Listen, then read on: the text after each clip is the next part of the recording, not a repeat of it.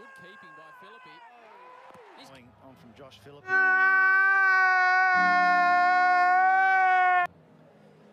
Yeah, I think he's missed that by